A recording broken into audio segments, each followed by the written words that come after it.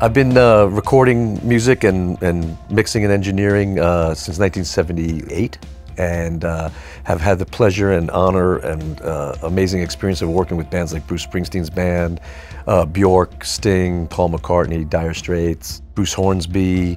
Very lucky to have worked with incredible artists over the years. So I first um, worked with Toontracks on a product in 2005, and in, this, in the intervening years they've developed other products uh, this new one is called EZmix, and they wanted me to come in and do some mixing presets for them. We've done some uh, bass presets, acoustic guitar presets, electric guitar presets, vocals, drums. Uh, so a person could basically take their session and bring it up with these presets on it and give them a jump start on getting the mix like well on its way to being complete.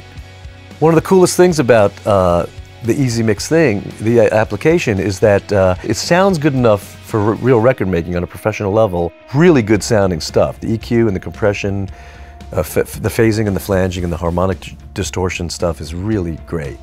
So one of the great things about the studio we're working at uh, for the presets, the Clubhouse in New York, is he has a ton of vintage amplifiers and it's tailor-made uh, for the impulse response generation. He's got great cabinets. Uh, we use some Marshall cabinets, we use some old Fender cabinets, we used Gretsch cabinets, we used an SVT cabinet. And basically, uh, we mic'd them up, pretty standard miking technique, a 421, a 57, and a nice ribbon mic, an AEA ribbon mic. And uh, it's an amazing thing because you're, you're, uh, you're capturing these incredible sounding cabinets and everybody has access to them now, and they really sound like what they are, really, really sounding good. So uh, it's, it's a really great tool because it, it, gives you immediate satisfaction and it's fun. It's, it, it's, there's so much variety and so much, you get inspired as you work with it because there's so many possibilities.